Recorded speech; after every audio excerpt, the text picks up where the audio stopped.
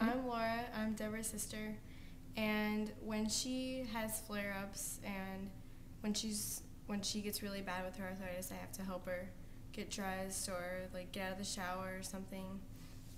And it, it is a struggle with us because she it's not just her having to deal with it, it's the whole family.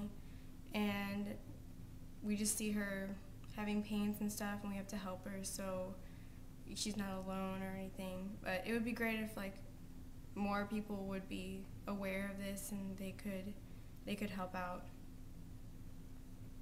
It's sad because she's so young and she shouldn't be having to go through that.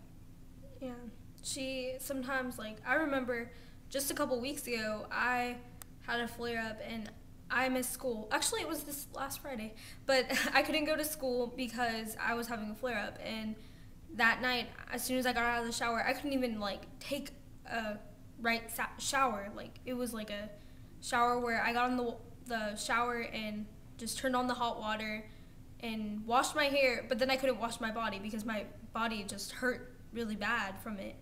So when I got out, she she helped me get out of the shower and she helped me get dressed and she dried me off and put my hair in a towel and it was it was a lot of help since I have her, but people should really know that it's not just adults, it's kids that have to go through this and it's difficult for kids more than it is adults because we're we don't know as like we're not as mature we don't understand what's going on with us and we're, we just get frustrated more easier i guess Is it scary?